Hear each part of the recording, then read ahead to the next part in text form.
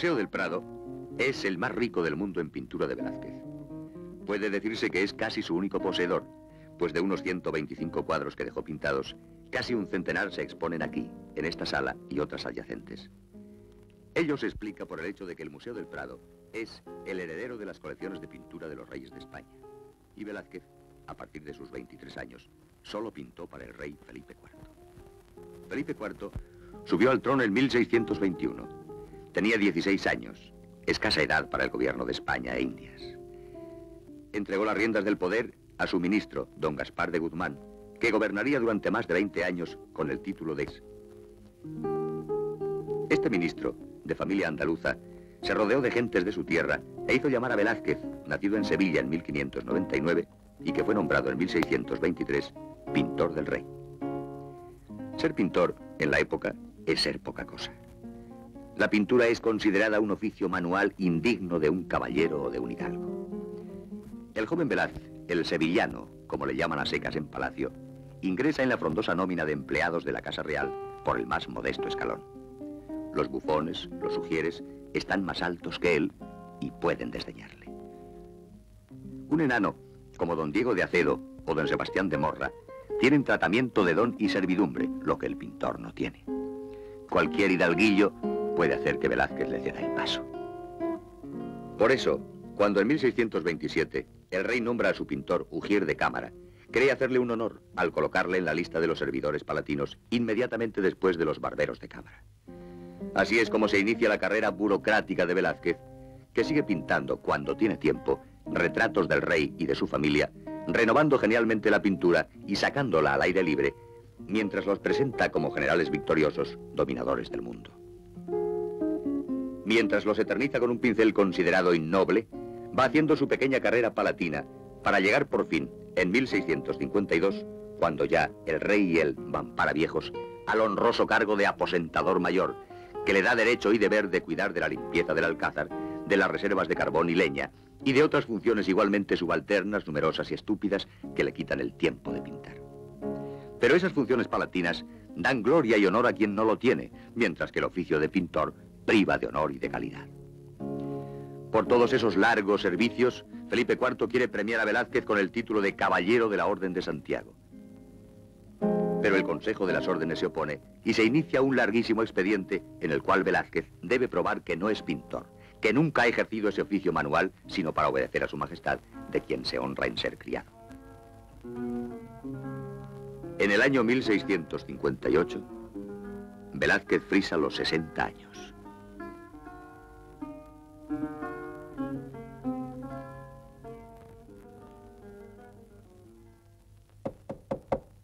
Entrad.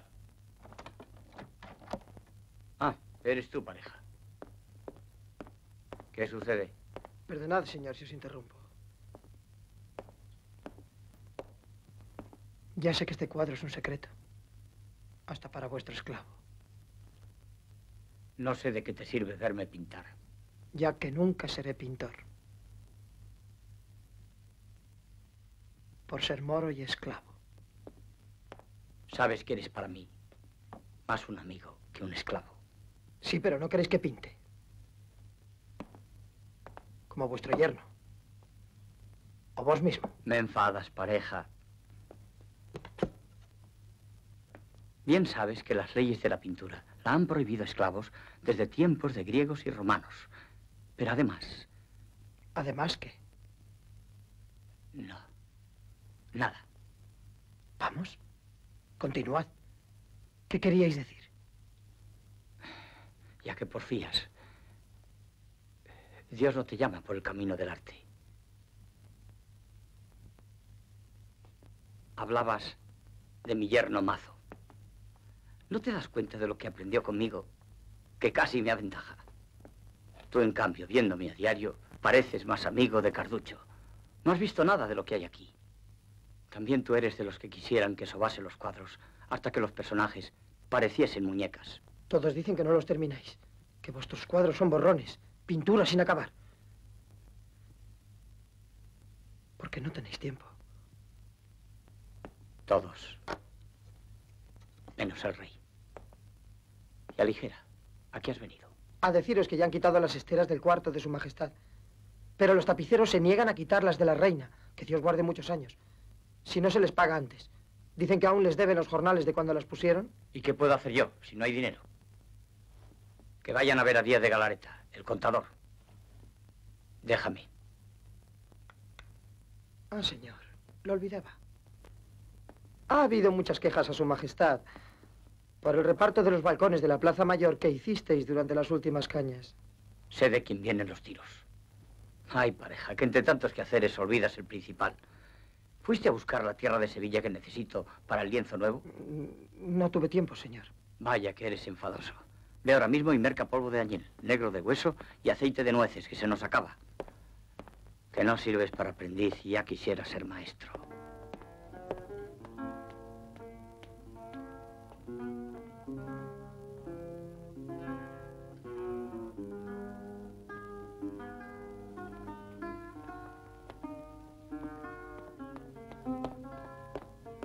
Señor, aquí hay dos guardias que desean veros.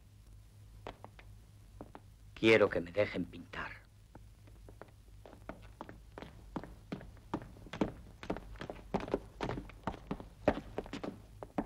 Y que se tolere esa canalla herética bajo los techos de su majestad.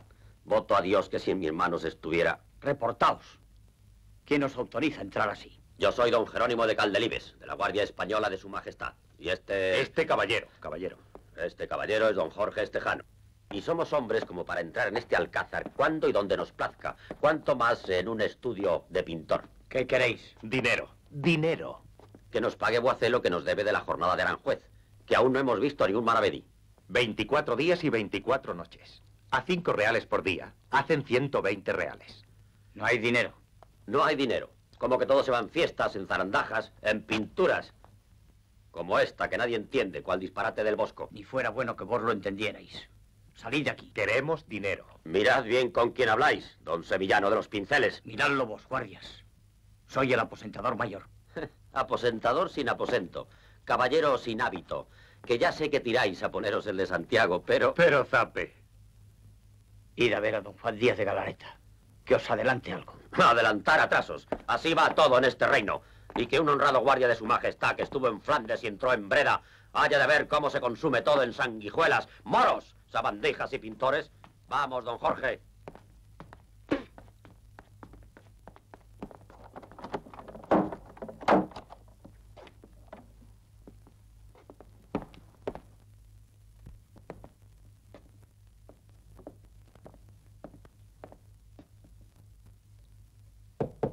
¿Quién diablos será ahora?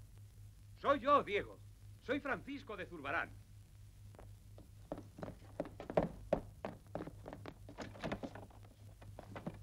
Bienvenido seas. Lo que me ha costado dar contigo. Tanto patio, tantos corredores, tantos guardias. ¿Sabes que no me dejaban pasar? En fin, aquí estás. Te veo enojado. No será conmigo que vengo a importunarte cuando estabas eh, pintando. Pintando. ¿Crees que tengo tiempo? Ni tranquilidad para hacerlo. Cuando no son las esteras, es el carbón, la leña, los balcones, las pagas de los guardias. Siéntate. Siéntate. Eso cuando la corte está en Madrid.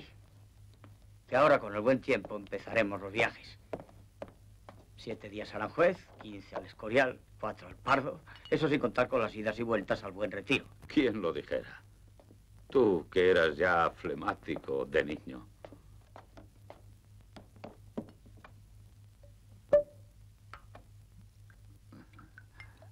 ¿Recuerdas cuando éramos aprendices?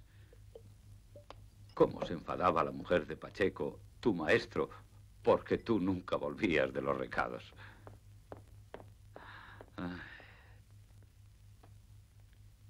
Qué buena mujer.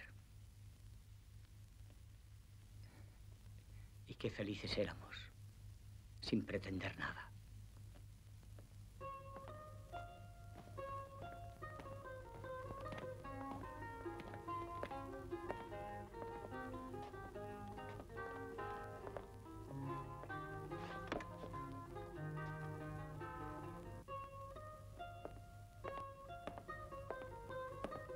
Sevillano. ¿Qué color me aconsejas? Señora, me parece que este iría bien con vuestro traje.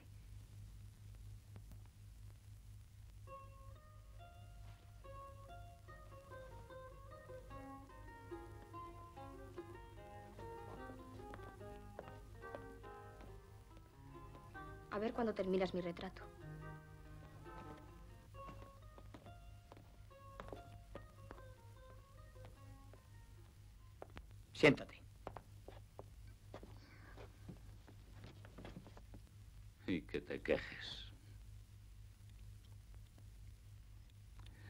Pues, ¿qué habría de hacer yo? Tú eres aposentador mayor, cargo que muchos títulos envidian. Tú ves al rey cada día. Pero tú puedes pintar. ¿Pintar qué? En los nidos de antaño no hay pájaros o gaño, como dicen. Ya pasé. O se sube o se baja, como las flechas. Yo voy bajando. Que diga eso el rey de los pintores, como dijo su majestad. Que Dios guarde. Pero sin gajes. Tener que emigrar a la vejez. Que dejar aquella Sevilla donde sí que era un rey. Ahora, reina Murillo. Nubes, azúcar, nada. ¿Ves? No, no lo entiendo. No seré de este tiempo. Tú mismo, esas pinceladas distantes, manchas sueltas. Será moderno, pero no es lo mío. ¿Y esto? ¿Qué es? ¿Qué ha de ser? Es la rueda de la hilandera. Faltan por pintar los radios. Se ve que te has pasado la vida entre frailes chapados a la antigua. Diseño y más diseño. Los radios no se ven porque la rueda gira. ¿Ves esa mancha? Es la mano. Parece locura del greco. Perdona. Estaré chapado a la antigua, como tú dices. Pero me han enseñado que la pintura no ha de representar el movimiento. Esto bueno será para la música, para la poesía. ¿Música? ¿Poesía? Pero si todo es lo mismo. ¿Conoces el libro de César Ripa sobre los símbolos? Tengo dos ejemplares en casa. Quiero que te lleves uno y lo leas en tu posada. Ah, no soy muy amigo de lecturas. Y menos ahora que la vista va de bajada. Ni se me da una higa de los símbolos y de las alegorías. Al pan, pan y al vino, vino. Y a la pintura, pintura. Tú que tan orgulloso estabas de ser pintor, que ni siquiera quisiste pasar el examen como lo pasé yo. Ahora reduces tu arte a un oficio manual. La pintura es algo más que todo eso. Es la reina de las artes. La pintura es la idea. La ejecución no añade nada. Cuanto más galante, sencilla y liberal, mejor. Tú no sabes lo difícil que es pintar inacabado. Como dicen los necios. Yo seré uno.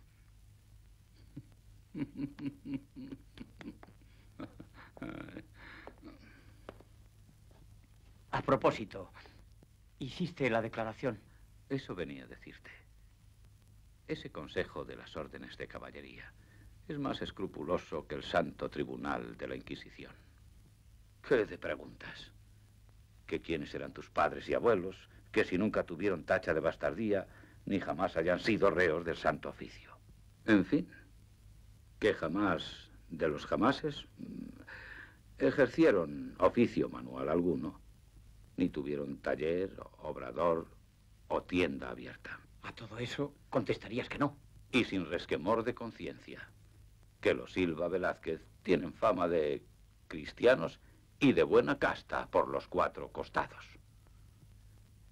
Pero alegan que, pese a todo, no tendrás el hábito. Porque no sé qué de tus abuelos portugueses. Y el proceso sigue. Y antes has de morir que verlo concluido. Sumo pontífice hay en la cristiandad con poder para dispensar hidalguía. Y ya se le ha pedido la dispensa. Y tengo en Roma buenos valedores. Lo que más me angustió es que me preguntaron si jamás habías ejercido el oficio de pintor. Y tuve que decir que no. Y era bajo juramento. Dirías que nunca lo he ejercido como negocio, sino por obedecer al rey, que ennoblece todo. No tengas escrúpulo, que lo mismo han jurado pintores muy católicos. Y te extrañas de mi afán por defender la nobleza de la pintura.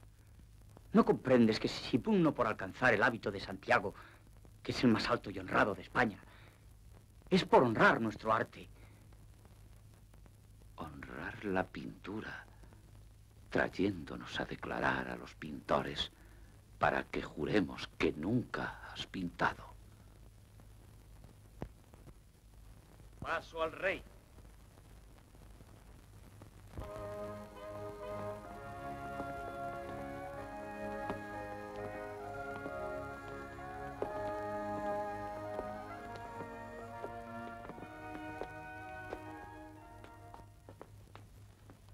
Os conozco. Sois Zurbarán. Qué viejos estamos, los dos. Yo más pobre que viejo, señor. También yo. Sevillano, ¿cómo va el lienzo de arañé? ¿Aún no lo has terminado? Más fue por falta de tiempo que de voluntad, señor. Ya conocéis la flema del sevillano. Da pocas pinceladas, pero tarda como si diese más que Michelangelo. ¿Y el retrato de mi hija Margarita? Para concluir cuando tenga una ocasión. Me habéis honrado con un cargo que ocupa tanto como glorifica, señor. A propósito, has de prevenir nuestra jornada en el Escorial. Quiero ir a ese sitio a fines de este mes. Y quiero que tengas ya ordenados para entonces los lienzos de la colección. Es trabajo que exige tiempo, y más con tu natural. Saldrás en cuanto ultimes tus tareas de aquí.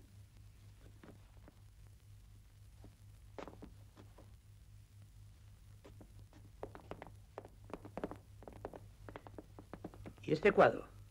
¿Es nuevo? No es mío, señor. Eh, ni sé quién lo ha puesto ahí. Perdón, señor. Perdón. Lo he hecho yo. Lo hice a escondidas de mi señor don Diego, que no me deja ejercer la pintura por ser moro y esclavo. Pues a fe que es pintura tan acabada que no deja nada por desear. Bien superior a otras que más parecen borrones. Acabada, decís. Hay cuadros que por más que se pinten y repinten nunca se acabarán. Porque nunca se empezaron. Sosegaos, sevillano. ¿Habéis olvidado acaso la parábola de los dos deudores? El deudor grande a quien había perdonado su señor no quiso perdonar a su deudor pequeño y fue arrojado al fuego y perdió todo. Cuidad de no perder vos el hábito de Santiago que os prometí. Pero, señor. No solo no tenéis que hablar más de esto, sino advertid que quien tiene tal habilidad no puede ser esclavo.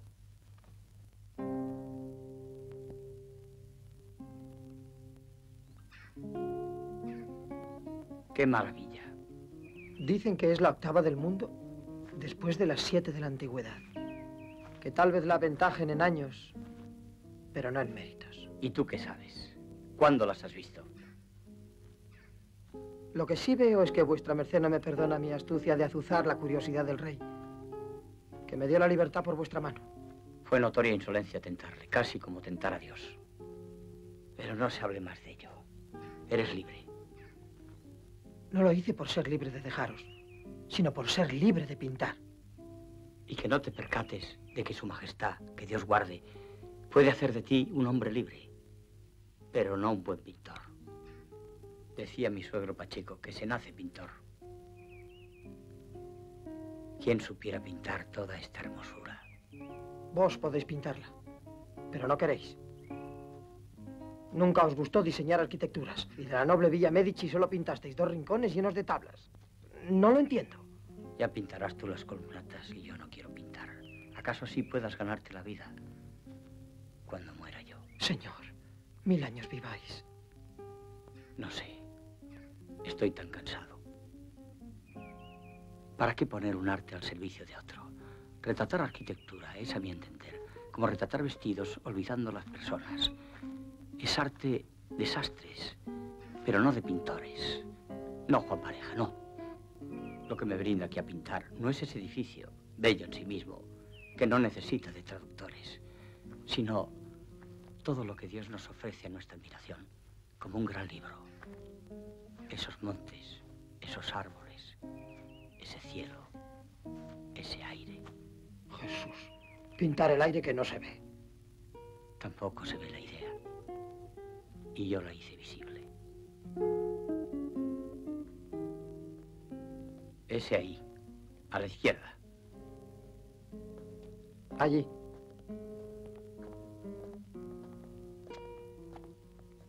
La alfombra ahí. Vamos, vamos. El Tiziano allí. ¿Allí?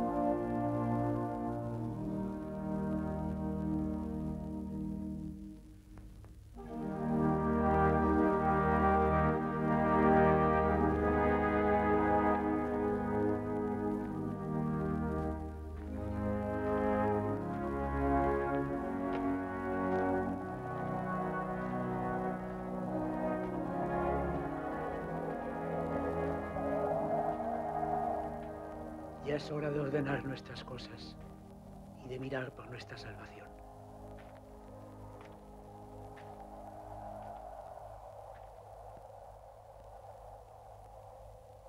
Estoy con tanto disgusto que deseo morirme, porque ¿quién ha de vivir con lo que cada día me sucede?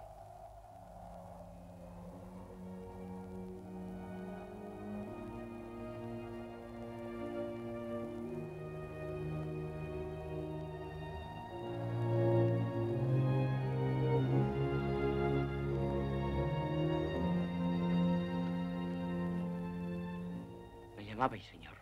Leed. Lleva un sello que dice Alexander, Papa VII, y está dirigido a su majestad. Carísimo in Cristo, filio nostro, Filippo Hispaniarum Rex. Aquí va la firma de su santidad. Dice así, Salute metapostolicam benedictionem tuam majestatis tua. Qui milicia Santi Jacobi, dilecto filio didaco de Silva Velázquez, Basta. Habitum. Esto significa, Marqués, que su santidad dispensa a Velázquez de la prueba de la nobleza de sus abuelos, según vos no probada, y que sin otra dilación ni excusa os serviréis despachar a su favor el título de caballero de Santiago con todas sus prerrogativas.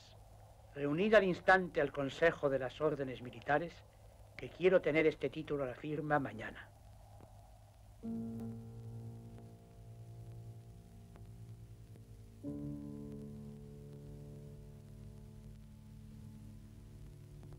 Música